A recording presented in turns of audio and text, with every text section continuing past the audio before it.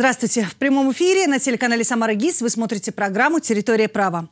Вложение средств в недвижимость сегодня является одним из самых привлекательных способов инвестирования. Особенно привлекательным он становится при появлении возможности приобрести жилье со значительной рассрочкой, а то и вообще даром. Ведь зачастую пожилым собственникам недвижимости не требуется единовременной выплаты. Они согласны передать квартиру в дар с условием содержания новым собственникам этой квартиры и предоставлению им для проживания. Возможно ли заключение договора дарения дарений с такими условиями. Вот именно сегодня об этом пойдет речь в нашей программе. Я представляю гостю в студии президент Нотариальной палаты Самарской области, нотариус города Самары Галина Юрьевна Николаева. Здравствуйте. Здравствуйте.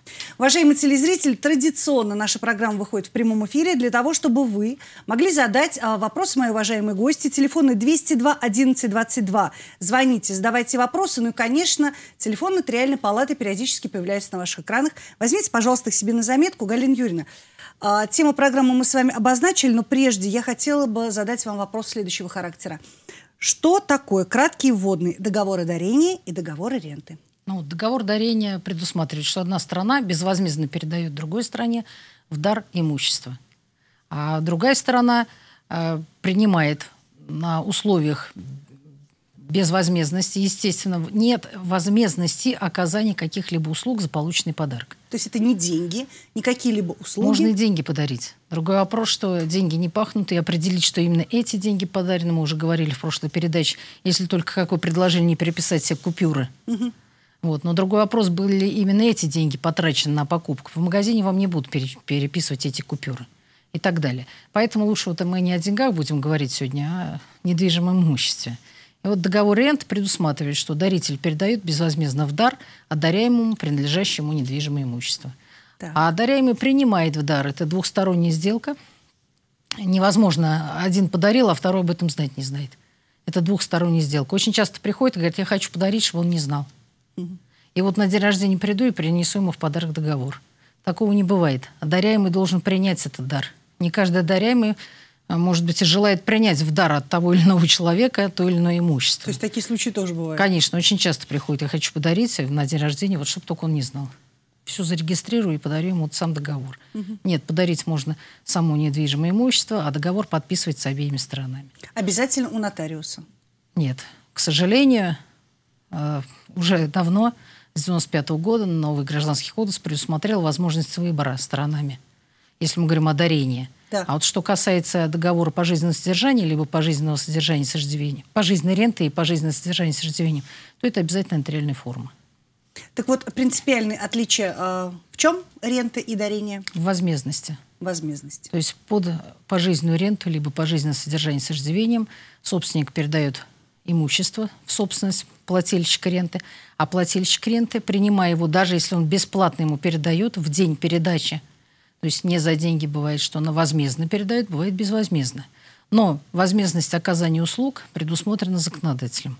Либо это рентные платежи, либо это услуги, оказываемые по содержанию, по жизненному содержанию получателя ренты. Галина Юрьевна, а какой же из этих видов договоров меньше оспаривается? И, соответственно, почему? Ну, оспаривать пытаются все, что можно и нельзя. Другой вопрос, а, по каким основаниям будет признана недействительная оспоримая сделка. Так. Недействительно она будет, если она нарушает права и интересы страны, а, которая посчитала их нарушенными, и если в судебном порядке будет доказано, что нарушена этой сделкой интересы одной из сторон, а либо договор заключен под влиянием угроз насилия, обмана. Это тоже нужно доказать. Не бывает так, что проходит энное количество времени, одна из сторон обращается, говорит, меня понудили совершить эту сделку. Необходимо доказательства предоставить, что именно понудили. Во-первых, есть всегда возможность, даже если понудили заключить и подписать какой-либо документ, 10 а, дней дается на а, признание сделки не, э, совершенного нотариального действия недействительным для обращения в суд. 10 есть, дней. Угу. Вы идете, обращаетесь. То есть, когда отпадают эта угроза, это насилие, эти э, угрозы в отношении лица, которого заставили подписать, бывают, конечно, такие случаи. Потому что к нотариусу человек приходит, отвечает на все вопросы. Прежде всего, нотариус всегда задает вопрос, добровольно ли вы обратились за совершение требований. Да, конечно.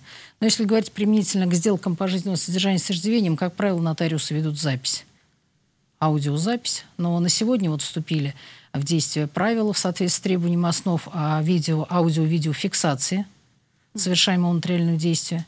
Поэтому на сегодня нотариус уже на полном законном основании фиксирует. Если раньше только по соглашению сторон нотариус мог произвести запись этого нотариального действия, аудио или видео, то сегодня без согласия этих сторон в рамках требований основ законодательства нотариате и в рамках э, принятого порядка аудио-видеофиксации, порядок утвержден Федеральной нотариальной палатой, сегодня нотариус будет вести эту запись, которую всегда можно предоставить в суд, где суд уже оценит это как доказательство добровольности, либо обратное.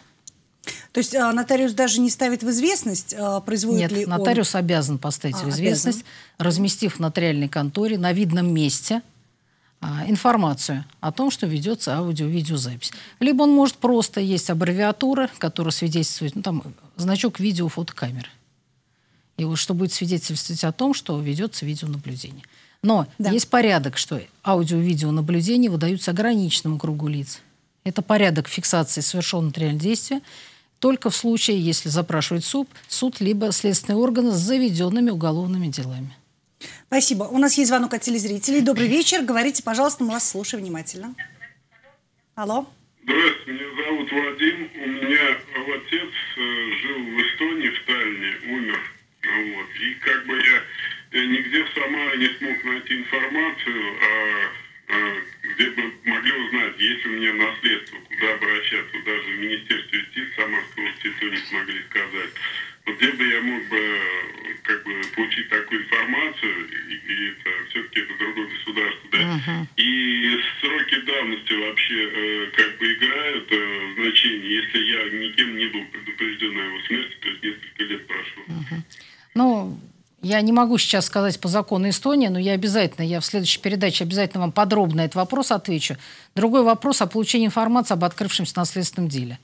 А, как раз через органы юстиции наше управление Министерства юстиции по Самарской области оформляет соответствующий от вашего имени запрос на территорию а, Министерства юстиции Республики, Эстонской Республики. И как раз вот общение происходит между двумя ведомствами о порядке получения этих сведений. Если вами был пропущен срок, в общих чертах я вам отвечаю, то э, любое законодательство из этих э, бывших советских республик, оно предусматривает порядок восстановления пропущенного срока. Поэтому необходимо вам все-таки начать с запроса.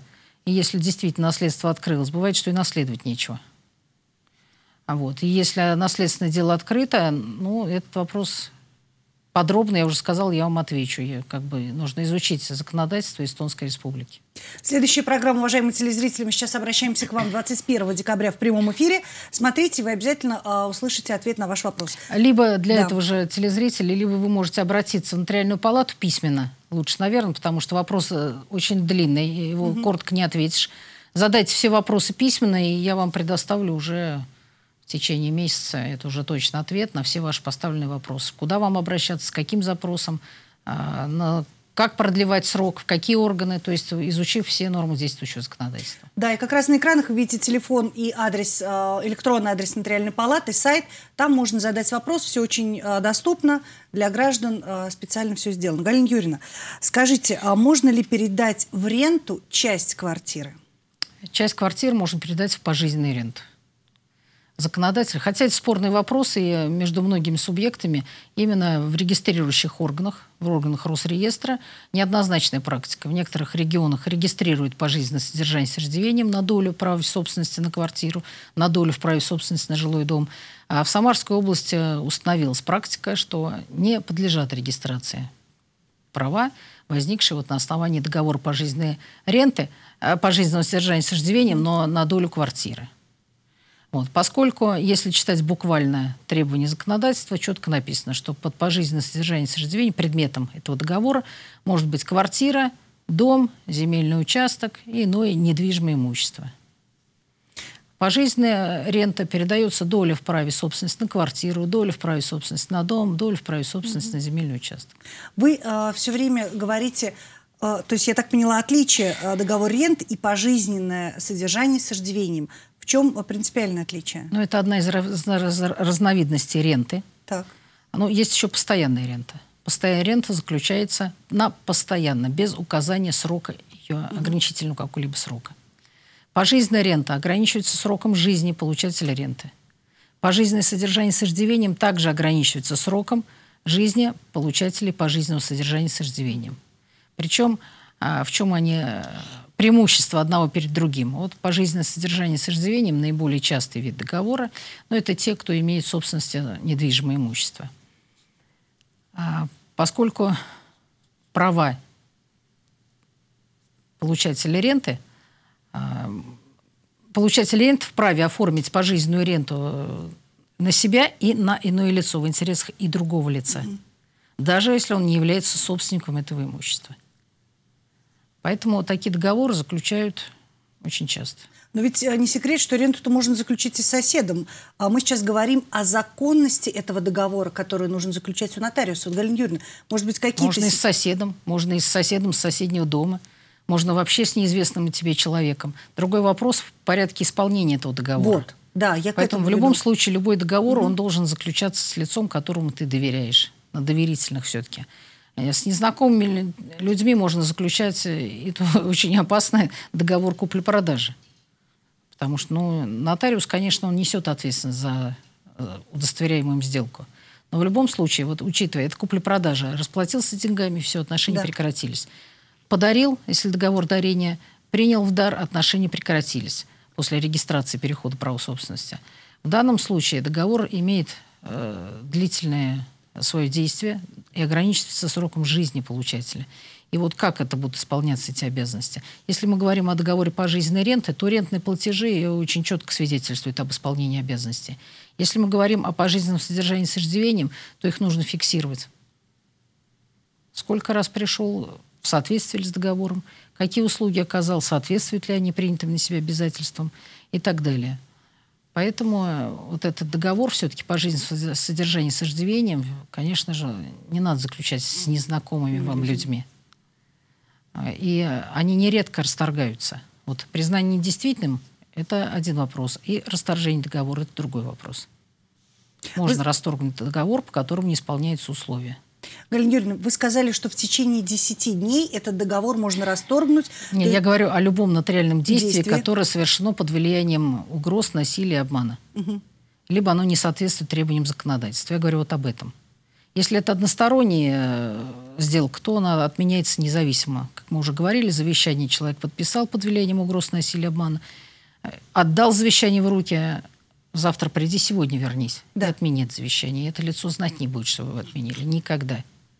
До окончания жизни этого человека. Вот. Что касается именно тех договоров, которые мы сегодня обсуждаем, то, естественно, он может... Одна сторона вправе обратиться в суд за признанием действительным этого договора. Либо за его расторжением, если он не исполняет свои Сторона условия. инициатор? Страна, которая посчитала свои интересы нарушенные этим Нарушенные. договором. Спасибо. Что же, продолжаем нашу программу в прямом эфире. Это означает, что по телефонам 202 11 22, уважаемые телезрители, вы сейчас можете дозвониться к нам в студию и задать вопрос президенту Нотариальной палаты Самарской области Николаевой Галине Юрьевне. Мы продолжаем э, тему нашего разговора. Галина Юрьевна, кем определяется размер рентных платежей и что входит в обязанности плательщика ренты по предоставлению содержания с иждивением? Давайте по одному вопросу. Значит, кто определяет? Определяют стороны. Но законодатель установил минимальные рентные платежи, которые не, то есть установленные договором сторонами по договору рентные платежи не могут быть установленного минимального размера рентных платежей. А, если это постоянная пожизненная рента, то не менее одного прожиточного минимума так. в субъекте, где удостоверяется договор. Потому что в разных субъектах разный размер прожиточного угу. минимума на душу населения. И пожизненное содержание с иждивением размер рентных платежей не может быть менее двух прожиточных минимумов. То есть сам человек, я хочу платить, грубо говоря, по 5 тысяч рублей. Нет, конечно. Здесь это конечно, нет. не пройдет, то есть здесь э, на, на законодательном уровне установлен. Ладно, хорошо. А как осуществляется оплата по договору ренты, как э, обеспечить интересы плательщиков ренты, если получатель будет, ну, к примеру, уклоняться от э, получения платежей? Таких случаев немало. Немало, потому что соседи, вот а с одним соседом заключил договор, а другой, узнав об этом, совершенно случайно от своего же вот любимого соседа, говорит, да ты что, я тебе больше буду платить. Так. И, к сожалению, некоторые э, сторонники такие, помогающие в судебных процессах, я их не знаю даже, как назвать, потому что уважающий себя, конечно, юрист и адвокат не будет учить лгать в суде, потому что это, ну, э, все это очень легко проверяется. А, поэтому учат, а ты не получай рентные платежи, а потом обратись в суд и скажи, что он тебе их не платит. И очень часто приходят такие люди за консультацией к нотариусу и говорят, вот мне посоветовали. Что если я не буду их получать? А потом скажут, что он не платит. Поэтому нотариус всегда скажет, вы знаете, в таком случае у вашего плательщика рент есть очень законный способ перечислять нежелаемые вами э, в получении, для получения рентной платежи, перечислять на депозитный счет нотариуса. Угу. А, и нотариус принимает в депозит от должника, в данном случае плательщик это должник, а кредитор это лицо, получающее эти рентные платежи. Он принимает в пользу этого кредитора рентные платежи в депозит и извещает об этом получателя ренты. И вот этот получатель ренты уже может их не получать никогда. Но плательщик ренты считается исполнившим свои обязательства. Поэтому вот э, лучше, конечно, соблюдать принятые на себя обязательства по договору, угу. поскольку в данном случае ну, пострадают только ваши интересы. Вот кто, тот, кто пытается обмануть, те интересы и будут страдать. То есть в таком случае как себя обезопасить вот от таких, ну, скажем, ну, на, все случаи, на все случаи жизни, да. конечно, соломку не подстелишь, но вопрос в данном случае законодатель предусмотрел. Если уклоняется кредитор от принятия долга, я уже сказал, то есть депозитный счет нотариуса. Спасибо.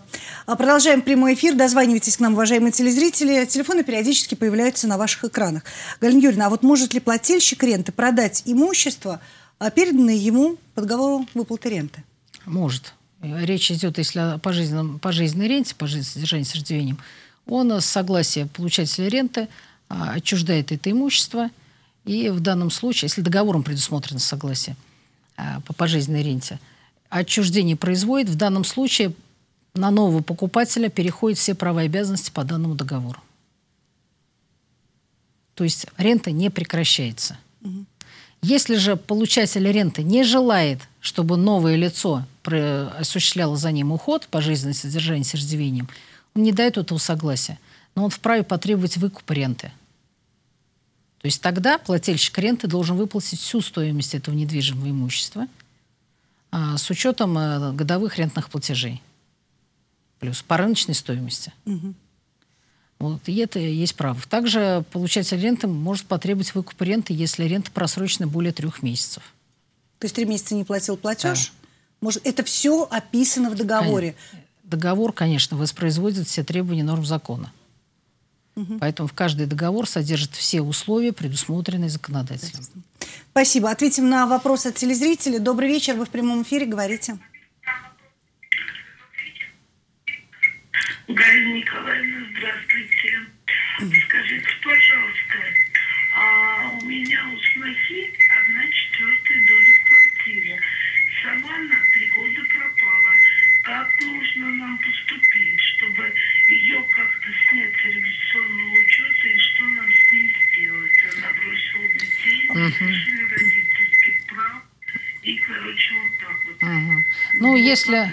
Да, у вас есть два способа. Значит, снять с регистрационного учета в любом случае должны были, если она не проживала там в течение шести месяцев, по вашему требованию прекратить ее право пользования жилым помещением, поскольку она им не пользуется, это в судебном порядке. Что касается, если у нее право собственности, и эту долю необходимо будет унаследовать ее детям, а дети ее наследники, там, если есть супруг, то и супруг наследник, если нет, то только дети, и родители, если имеются ее живых. А в данном случае необходимо признать э, умерший. Сначала безвестно отсутствующий, потом умерший. И вот с момента вынесения судом решения о признании ее умершей уже можно наследовать эту долю. А в том случае, если же она объявится через какое-то энное количество времени, то отменяется решение суда о признании ее, естественно, умершей. И если не была отчуждена э, это ее одна четвертая доля, то она э, подлежит ей возврату. Галина Юрьевна, скажите, пожалуйста, а вот а, сейчас, исходя из а, нотариальной практики, чаще всего а, граждане а, заключают договоры пожизненного сожди, а, содержания с иждивением или все-таки ренты? И ваш профессиональный совет, чтобы в первую очередь обезопасить себя от различных а, моментов, э, да, связанных с потерей жилья. Вот что бы вы посоветовали? Конечно, пожизненное содержание с иждивением. Почему? А, потому что ну, максимально прописана ответственность сторон, максимально прописаны взаимные права и обязанности. Во-первых, э, получая в собственность это жилое помещение, а, плательщик ренты не вправе отчуждать его без согласия получателя. Это первое. Второе, оно находится в залоге пожизненно у получателя ренты. То есть он не может продать без его согласия. Вот, как я уже сказала, он регистрируется, это право залога. Ну, естественно, живет там. Оно, конечно же, в пожизненном пользовании сохраняется. Что касается пожизненной ренты, то на основании договора законодатель не предусматривает, что сохраняется жилье в пожизненном пользовании. Но на основании договора стороны могут предусмотреть. Но двухсторонний что такое? Здесь закон предусматривает право пожизненного пользования, а здесь договор. Любой двухсторонний договор может быть изменен, прекращен по взаимному согласию. Если не по взаимному, то в судебном порядке. Вот в пожизненном содержании с иждивением законодатель четко предусмотрел, что нет права у плательщика ренты потребовать прекратить mm-hmm. право пользования. Все сделается согласие. Вот, поэтому, конечно, самый удобный, обоюдо удобный договор – это пожизненное содержание с иждивением. Спасибо. Принимаем звонок. Добрый вечер. Добрый. Говорите. Здравствуйте. Здравствуйте. Это Валерий говорит. А можно к предыдущему вопросу, вот до, до этого, который вот э, объясняли по поводу вот это это дарственный, это подарочного. Угу. Да, пожалуйста, ставите. Получилось так, что вот у моей жены умерли родители, так? Вот. Отец в этом году умер, и получилось так, что он подарил квартиру ну, внуку.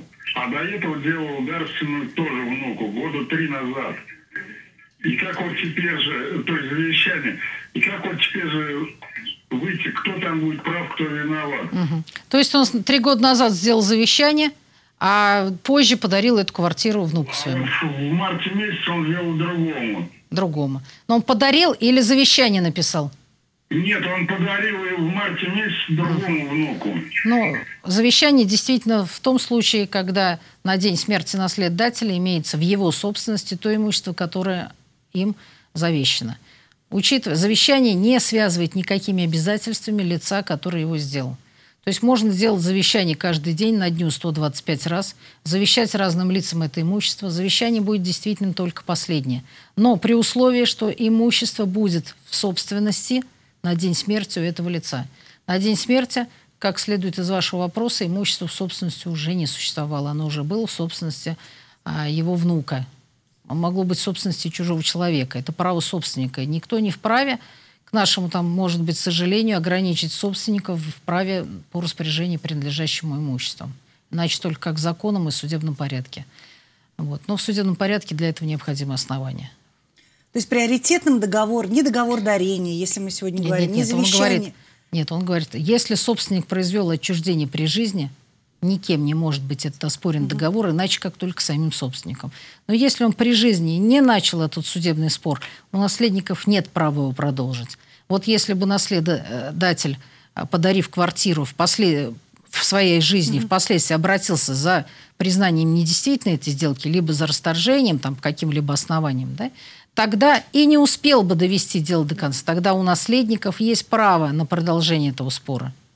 В данном случае, если сам наследодатель, собственник имущества, не оспаривал совершенное им действие нотариальное, ни у кого нет права уже вмешиваться в это. Спасибо, Галина Юрьевна. А вернемся к нашей теме. А, следующий вопрос. Прекратит ли договор ренты действовать в связи со смертью плательщика ренты? Если плательщик ренты э, умер – то его, к его наследникам переходят права и обязанности по настоящему договору. Если они желают взять на себя эти права, а если нет? А если они не желают, э, то они не наследуют эти права. А пример можете привести, ну, чтобы было понятно? Но они просто не наследуют. Наследство никто не вправе навязать принять наследство. Верно. Если наследник, узнав, что ему необходимо платить, либо по жизни ухаживать, он отказывается. Но он не может отказаться от части имущества. Он должен принять либо все имущество, либо отказаться от всего. Но если у наследодателя только эта квартира, обремененная правами вот этого пожизненного содержания с иждивением, угу. то он вправе отказаться. Спасибо. Послушаем звонок. Алло, говорите, добрый вечер. Здравствуйте. Здравствуйте. Мы продали дачу в 1999 году. в Красном Яре через нотариус. Но она до сих пор числится на нас. А вы ее продали по договору, да? По договору продали ее? Да, по договору в нотариусе в Красном Яру. Мгм. То есть переход права собственности покупатель не зарегистрировал.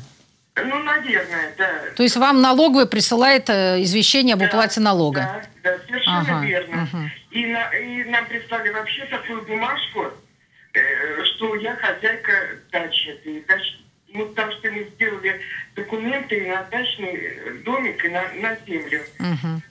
А Вам, ну, может быть- ну, может быть и такая ситуация, что сведения из налоговой не поступили, либо не были отправлены. Поэтому лучше, конечно, узнать, получив выписку из Росреестра, а за кем числится все-таки этот дачный домик и земельный участок. Если он числится за новым покупателем, то в налоговую необходимо отправить эти сведения.